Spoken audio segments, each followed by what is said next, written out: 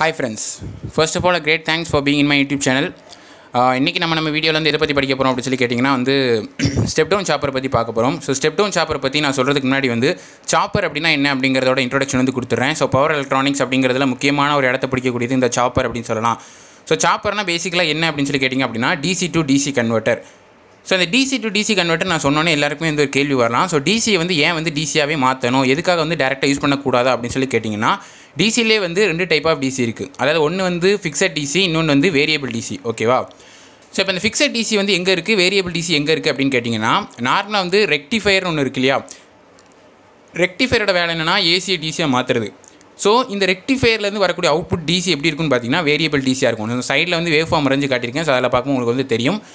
So இது வந்து என்னென்னு பார்த்தீங்கன்னா ஃபிக்ஸட் டிசி இது என்னென்னு பார்த்தீங்கன்னா வேரியபிள் டிசி ஓகேவா ஸோ இப்போ இந்த ரெண்டு டைப் ஆஃப் டிசி இருக்குது ஸோ இப்போ இந்த வேரியபிள் டிசி எங்கேருந்து வரும் அப்படின்னு சொல்லி கேட்டிங்கன்னா இது வந்து ரெக்டிஃபையரோட அவுட்புட்லேருந்து வரும். ஓகேவா இது ஒரு விஷயம். இதே வந்து ஒரு சாப்பர் ஆக்சுவலாக எதுக்காக யூஸ் பண்ணுறாங்க அப்படின்னாலே பேசிக்கலாக input and output input output ரெண்டு விஷயம் இருக்கும். இன்புட்டும் சரி அவுட்புட்டும் சரி ரெண்டுமே எப்படி வேணாலும் இருக்கலாம். இன்புட் ஃபிக்ஸடாக இருந்தால் அவுட்புட் வந்து வேரியபிளாக இருக்கும். இன்புட் வேரியபிளாக இருந்தால் அவுட்புட் வந்து ஃபிக்ஸடாக இருக்கும். ஓகேவா ஸோ ரெக்டிஃபயர்லேருந்து அவுட்புட் எப்போதுமே வந்து வேரியபிள் டிசியாக தான் இருக்கும் அப்படிங்கிறதுனால நம்ம வந்து சாப்பரை யூஸ் பண்ணி வேரியபிள் டிசியை ஃபிக்ஸட் டிசியாக யூஸ் பண்ணுறோம் ஏன் ஃபிக்ஸட் டிசியை மாற்றணும் அப்படின்னா அப்படின்னா தான் நமக்கு வந்து கான்ஸ்டண்ட்டாக ஒரு லெவலில் வந்து நமக்கு வந்து வோல்டேஜ் கிடைக்கும். அதாவது வந்து ஃபார் எக்ஸாம்பிள் நம்ம வந்து ஒரு ஃபோன் எடுத்துக்கலாம். ஃபோன் உள்ள பேட்டரி எல்லாமே என்னென்னு கேட்டிங்கன்னா ஃபிக்ஸட் டிசி தான். ஏன்னா அதுக்கு நம்ம வந்து ஒரு ரெகுலராக வந்து சார்ஜ் பண்ணணும். அதே நேரத்தில் டிஸ்சார்ஜ் ஆகும்போதும் அது ரெகுலராக வந்து டிஸ்சார்ஜ் ஆகணும். கரெக்டாக ஸோ இந்த சார்ஜிங் டிஸ்சார்ஜிங் வந்து ரெகுலராக நடக்கணும் அப்படின்னு கேட்டிங்க அப்படின்னா இதுக்கு நம்ம யூஸ் பண்ணக்கூடிய ஒரு டைப் ஆஃப் டிசி தான் என்னென்னு பார்த்தீங்கன்னா ஃபிக்ஸட் டிசி அப்படின்னு சொல்லுவாங்க. ஸோ இந்த ஃபிக்ஸட் டிசி அப்படிங்கிறது கிடைக்கிறதுக்காகவும் சரி அல்லது வேரியபிள் டிசி ஃபிக்ஸட் டிசி நம்ம வேரியபிள் டிசியாக மாற்றதுக்காகவும் நம்ம ரிட்டன் மறுபடியும் நம்ம ரிவர்ஸில் பண்ணுறதுக்காகவும் இந்த சாப்பர் நம்ம யூஸ் பண்ணிக்கலாம் அப்படிங்கிறத தெரிஞ்சுக்கோங்க. ஸோ நார்மலாக வந்து நம்ம டிசி சாப்பர் அப்படிங்கிறது நம்ம வந்து ஜஸ்ட் ஒரு பிளாக் டயக்ராம் மாதிரி ரெப்ரசென்ட் பண்ணிடலாம். இது என்னென்னு பார்த்தீங்கன்னா சோர்ஸ் வோல்டேஜ் இது என்னென்னு பார்த்தீங்கன்னா அவுட்புட் வோல்டேஜ் ஸோ இது வந்து சோர்ஸ் கரண்ட் இது வந்து அவுட்புட் கரண்ட் ஸோ இது எல்லாமே பார்த்தீங்க அப்படின்னா வந்து ஒரு ஜஸ்ட் ஒரு ரெப்ரசன்டேஷன் இது எப்படி வேணாலும் இருக்கலாம். ஸோ ஸ்டெப் டவுன் சாப்பர் அப்படின்னாலே என்ன அப்படின்னு சொல்லி கேட்டிங்க அப்படின்னா சரி ஓகே அதை நான் அடுத்ததாக சொல்ல போகிறேன் என்னோடய அப்ளிகேஷன் எங்கெல்லாம் இருக்குது அப்படின்னு கேட்டிங்கன்னா DC traction rise trolley cars marine lifts இந்த மாதிரி வந்து லிஃப்ட்டாக இருக்கட்டும் அல்லது வந்து காராக இருக்கட்டும் நம்ம வந்து நிறைய இடங்களில் வந்து இந்த மாதிரியான டிசியை வந்து நம்ம ஃபிக்ஸடாக மாற்றதுக்காகவோ அல்லது வந்து சில இடங்களில் வந்து வேரியபிள் டிசி வேணும் அப்படிங்கிறதுக்காக என்ன யூஸ் பண்ணுவாங்கன்னு பார்த்தீங்கன்னா அந்த சாப்பர்ஸ் அப்படிங்கிறத யூஸ் பண்ணுவாங்க.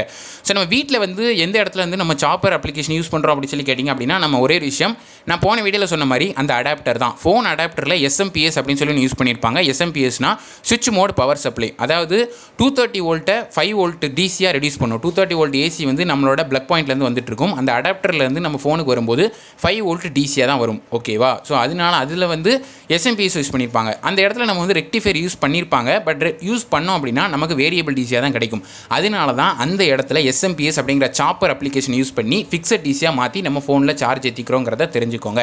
ஸோ இது வந்து நம்ம one of the easiest and also ரொம்ப ரிலேபிளாக நம்ம சொல்லக்கூடிய என்ன எக்ஸாம்பிள் ஹோம் அப்ளிகேஷன் அப்படின்னு சொல்லி சொல்லலாம். ஸோ அடுத்ததான் என்னென்னா வாங்க ஸ்டெப் டவுன் சாப்பர் அப்படிங்கிறது என்ன பற்றி நான் சொல்கிறேன் ஸோ இதுதான் வந்து என்ன பார்த்தீங்கன்னா அதோட ஓவரால் எக்ஸ்ப்ளனேஷனாக இருக்கும். ஸோ ஸ்டெப் டவுன் சாப்பர் அப்படிங்கிறது வந்து என்ன அப்படின்னு சொல்லி பேசிக்கலாகவே கேட்டிங்கன்னா it just to step down the voltage அவ்வளோதான் எப்படி ஒரு ஸ்டெப் டவுன் ட்ரான்ஸ்ஃபார்மர் வந்து நம்ம வந்து ஒரு ஹை அமௌண்ட் ஆஃப் வோல்டேஜ் வந்து நம்ம லோ அமௌண்ட் ஆஃப் வோல்டேஜ்க்கு நம்ம மாற்றுறோமோ அதே மாதிரி தான் ஒரு ஸ்டெப் டவுன் சாப்பருங்கிறது வந்து ஜஸ்ட் வோல்டேஜ் வந்து டவுன் பண்ணுறதுக்காக தான். ஓகேவா ஸ்டெப் அப் சாப்பர் கூட இருக்குது ஸோ அதெல்லாம் நம்ம அடுத்தடுத்த வீடியோஸில் பார்க்கலாம். இந்த வீடியோவில் நான் வந்து step down chopper with R load அப்படிங்கிறத சொல்ல போகிறேன் ஸோ ரெசிஸ்டிவ் லோட் அப்படின்றது தான் என்ன அப்படின்னு சொல்லி கேட்டிங்கன்னா இந்த இதில் நான் எக்ஸ்பிளைன் பண்ண போகிற விஷயம். சரிங்களா?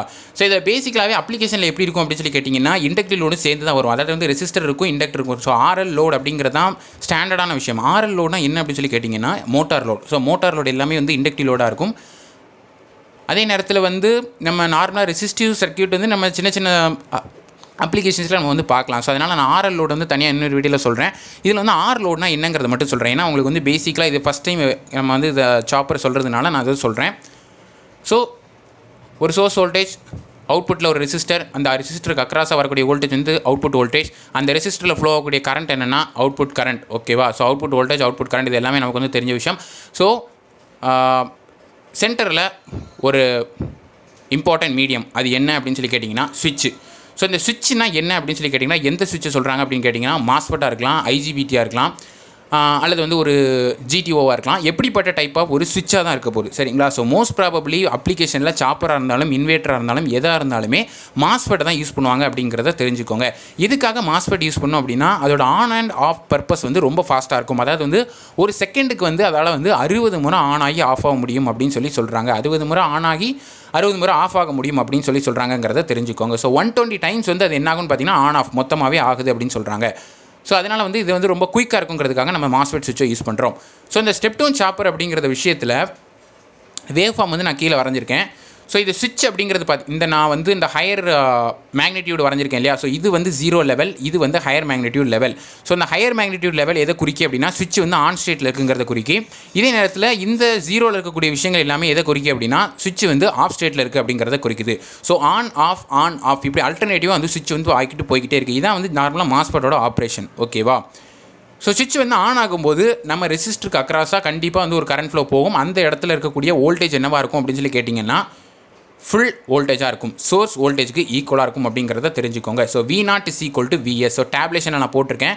ஜீரோ டு டெல் டி அப்படின்னா இது வந்து ஸ்டேட் ஆஃப் அ சுவிட்சு ஒரு சுவிட்ச் வந்து ஆன் ஆகக்கூடிய ஒரு டைம் அப்படின்னு சொல்லுவாங்க. டெல்லுனா வந்து நார்மலாக நம்ம வந்து டியூட்டி சைக்கிள் அப்படின்னு சொல்லுவாங்க. ஸோ அடுத்தடுத்த வீடியோஸ் நம்ம போக போக தெளிவாக உங்களுக்கு புரியும். ஓகேவா ஸோ இந்த டெல்டின்றது இந்த டீயை விட லெஸ்ஸாக இருக்கும். டீங்கிறது வந்து total time T on plus T off தான் டோட்டலாக நம்ம டி அப்படின்னு சொல்லி சொல்லுவாங்க. சரிங்களா?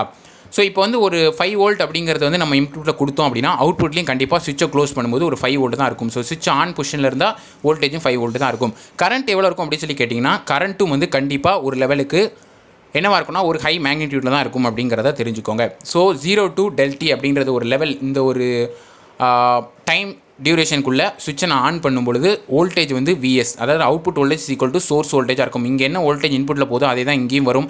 அதே நேரத்தில் அவுட்புட் கரண்ட் என்னவாக இருக்குன்னு கேட்டிங்கன்னா V naught by R V நாட்ன்றது இதுக்கு அக்ராஸாக உள்ள voltage ஆர்ன்றது resistor so V naught by R அப்படிங்கிறத என்னவாக இருக்கும் அப்படின்னு சொல்லி கேட்டிங்கன்னா ரெசிஸ்டரில் ஃப்ளோ ஆகக்கூடிய கரண்ட்டாக இருக்கும் அப்படிங்கிறத தெரிஞ்சுக்கோங்க. ஸோ இதுதான் வந்து என்னென்னு பார்த்தீங்கன்னா ஃபஸ்ட்டு இன்டர்வல் இந்த ஒரு இன்டர்வல் டைமுக்கு சுவிட்ச் ஆனில் இருக்கும்போது வோல்டேஜ் கரண்ட் எப்படி இருக்கும் அப்படிங்கிறதோட ஸ்டேட் ரெண்டாவது இன்டர்வல் என்னன்னு பார்த்தீங்கன்னா டெல்டியிலேருந்து டி வரைக்கும். ஸோ டெல்டியிலேருந்து டி வரைக்கும் சுவிட்ச் என்னவா இருக்குது அப்படின்னு சொல்லி கேட்டிங்கன்னா சுவிட்ச் வந்து ஆஃப் கண்டிஷனில் இருக்குது ஸோ சுவிட்ச் ஆஃப் கண்டிஷனில் இருந்ததுன்னா அங்கே இருக்க வோல்டேஜும் ஜீரோவாக தான் இருக்கும். அதே நேரத்தில் கரண்ட்டும் ஜீரோவாக தான் இருக்கும். எந்த கரண்ட்டும் ஃப்ளோ ஆகாது எந்த வோல்டேஜும் ஃப்ளோவும் சாரி அதாவது வந்து ட்ராப்பும் ஆகாது. ஸோ வோல்டேஜ் வந்து ஜீரோ ஆகிடும் ஓகேவா ஸோ பாருங்கள் ஸோ டெல்டிலேருந்து டி வரைக்கும் இந்த ஒரு இன்டர்வலில் சுவிட்ச் வந்து ஆஃப் பொசிஷனில் இருந்தால் வோல்டேஜும் ஜீரோவாக தான் இருக்கும். ஐநாட்டும் வந்து ஜீரோவாக தான் இருக்கும் அப்படிங்கிறத தெரிஞ்சுக்கோங்க. இதே வந்து அடுத்த ஸ்டேட்டுக்கு நான் போகும்போது அதாவது டீலேருந்து ஒரு டி மைனஸ் டெல்டி அதாவது அந்த ரேஞ்சுக்கு நான் போகும்போது மறுபடியும் சுவிட்ச் வந்து ஆன் ஆச்சு அப்படின்னா அப்பவும் பழைய கேஸ் மாதிரியே வி நாட் வந்து equal to VS and I naught வந்து equal to V naught by ஆராக இருக்கும் அப்படிங்கிறத தெரிஞ்சுக்கோங்க. ஸோ சுவிட்ச் வந்து எப்போலாம் ஆனில் இருக்கோ அப்போ ரெசிஸ்டர் லோடுக்கு அக்ராஸ் உள்ள வோல்டேஜும் கரண்ட்டும் எப்போதுமே வந்து ஹையாக தான் இருக்கும். சுவிட்ச் ஆஃப்ல இருந்தால் அங்கே இருக்க வோல்டேஜ் கரண்ட் எதுவுமே இருக்காது. எல்லாமே வந்து ஜீரோவாக தான் இருக்கும் அப்படிங்கிறத தெரிஞ்சுக்கோங்க. ஸோ இதுலேருந்து என்ன தெரியுது அப்படின்னு சொல்லி பார்த்தீங்க அப்படின்னா ஒரு ரெசிஸ்டிவ் லோடாக இருந்துச்சு அப்படின்னு சொன்னால் என்ன நடக்குது அப்படின்னா வோல்டேஜ் கரண்ட் கம்ப்ளீட்டாக டிபெண்டிங் அப் அந்த பொசிஷன் ஆஃப் த சுவிட்சு ஸோ சுவிட்சு க்ளோஸ் ஆகுது ஆன் ஆகுதை பொறுத்து தான் இங்கே வோல்டேஜ் கரண்ட் வருமாங்கிறத நம்ம சொல்ல முடியுங்கிறத தெரிஞ்சுக்கோங்க. இது வந்து என்னன்னு பார்த்தீங்கன்னா ஆர் அதாவது வந்து ரெசிஸ்டிவ் லோடை பொறுத்த மட்டும் இது வந்து ஒரு கண்டிஷன் நான் சொன்ன மாதிரி ரெசிஸ்டிவ் லோடு வந்து மோஸ்ட் ஆஃப் த அப்ளிகேஷனில் நம்ம சொல்ல முடியாது. ஏன்னா எல்லா அப்ளிகேஷன்லையுமே இண்டக்டிவ் லோடு கண்டிப்பாக இருக்கும். பேசிக்கலாகவே இந்த சாப்பர் யூஸ் பண்ண இடமே வந்து மோட்டார்ஸ் தான். மோட்டார் எல்லாமே வந்து இண்டக்டிவ் லோடு தான்.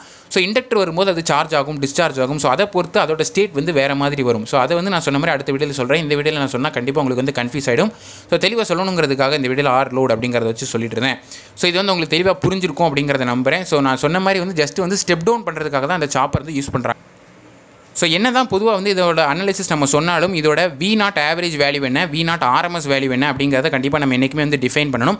V naught average V naught ஆர்எம்எஸோட formula நான் வந்து சைடில் எழுதியிருக்கேன். ஸோ இது போக போக வந்து உங்களுக்கு தெளிவான ஒரு எக்ஸ்ப்ளனேஷனில் புரியும்னு நினைக்கிறேன். ஜஸ்ட் வந்து நான் சொல்லணுங்கிறதுக்காக. ஏன்னா வந்து எந்த ஒரு சர்க்கியூட்டையுமே நம்ம இந்த மாதிரியான பவர் எலக்ட்ரானிக்ஸில் எடுக்கும்போது இந்த மாதிரியான ஈக்குவேஷன் நம்ம கண்டிப்பாக படிச்சிருக்கணுங்கிறதுக்காக அந்த வீடியோவில் சொல்கிறேன் ஸோ அடுத்தடுத்த வீடியோஸில் அதோட டெரிவேஷன் என்ன அப்படிங்கிறத வந்து தெளிவாக சொல்கிறேன் வி நாட் ஆவரேஜோட வேல்யூ என்ன பார்த்தீங்கன்னா டெல் விஎஸ் அதே வி நாட் ஆர்எம்எஸோட வேல்யூ பார்த்தீங்கன்னா ரூட் டெல்லா விஎஸ் ஸோ இந்த ஃபார்முலா வந்து படித்து வச்சுக்கோங்க. இது வந்து இன்டெகிரேஷனோட ஃபார்முலா ஸோ இதான் என்னென்னு பார்த்தீங்கன்னா இதோட expression for V naught average and V naught ஆர்எம்எஸ்ங்கிறத தெரிஞ்சுக்கோங்க. ஸோ இது வந்து இந்த வீடியோவில் நான் சொல்ல நினச்சேன். ஸோ இதில் டவுட்ஸ் நான் கமெண்ட்ஸ் லீவ் பண்ணுங்கள் உங்களுக்கு வேறு என்ன மாதிரி வீடியோஸ் வேணுங்கிற கமெண்ட்ஸ் சொல்லிட்டே இருங்க. நாளைக்கு இதே மாதிரி இன்னொரு வீடியோ உங்க பார்க்குறேன். அதோட சீகாஸ் டேக்கர் பாச்சியர்ஸ் stay home safe and thank you for வாட்சிங்